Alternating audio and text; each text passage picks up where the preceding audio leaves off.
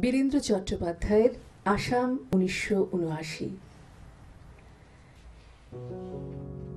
কে মারে? আর কাকে মারে? আমি ঠিক বুঝতে পারি না। সবকিছুই আমার কেমন ধাঁধার মতো মনে হয়। কোনটা আমাদের স্বদেশ আর কাকি বা বিদেশ বলে। কিছুকাল আগে আমি আসামের রাজধানী গৌহাটিতে গিয়েছিলাম। সেদিন আমার অসমিয়া বন্ধুরা আমাকে আদর করে পান্তা ভাত আর শুটকি মাছ খাইয়েছিল। নেহাত গরিবের খানা।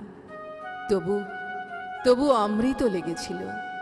আমার ভাবতে কেমন লাগে, সেই সব বন্ধুরা আজ কোথায় আছে? তারা কেমন আছে? তারা যে কেউ বেঁচে আছে? বাতাস তো এমন কথা খুব নিচু গলাতেও আমাদের কানে পৌঁছে দেয় না। তারা কেউ বোবা ছিল না। অন্ধ ছিল না। আমি অন্তত প্রশ্ন করেছিলাম, আশাও করেছিলাম। তারা অন্তত বলবে, কেন? কাকে? একজন নিরপরাধ মানুষের অপমানে তারা নিশ্চয়ই দরজায় খিল দিয়ে নিরাপদ থাকতে চাইবে না। হতে পারে হতে পারে সময় এখন বড়ই দুঃসময়, কিন্তু মানুষ সবার উপরে মানুষ।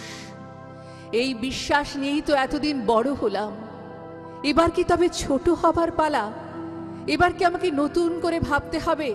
পৃথিবী থেকে ভারতবর্ষে, ভারতবর্ষ থেকে আসামে?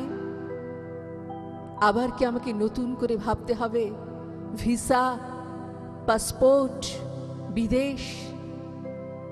আমি যেন সেই নতুন ইহুদি, যাকে বিংশ শতাব্দীর সত্তর দশক পার হয়ে আবার তার পায়ের তলার মাটি খুঁজতে হবে।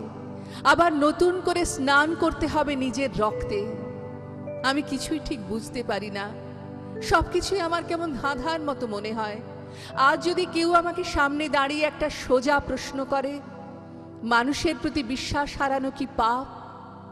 আমি নিজেই জানি না তার কি উত্তর দেব। আজ যদি আমাকে পশ্চিম বাংলার সীমান্ত পার হয়ে দশ পা পূবের দিকে হেঁটে যেতে হয়। সেদিন আমার প্রতিবেশী সৎ ভাইদের কাছ থেকে আমি কি কুশল সংবাদ জানতে চাইব? তারা যখন আমাকে বুকের ভেতর টেনে নেবে, আমি নিশ্চয়ই তাদের মুখের দিকে তাকাবো। কিন্তু কিন্তু কীভাবে তাকাবো? আমি কি আমার পকেট থেকে একটার পর একটা কাগজের টুকরো বের করে সেদিন তাদের ম্যাজিক দেখাবো? বলব, এই দেখো এই দেখো আমার পাসপোর্ট, আমার ভিসা। কিন্তু এ কথা সত্যি, আমি যে একজন মানুষ, তাদের মতোই একজন মানুষ।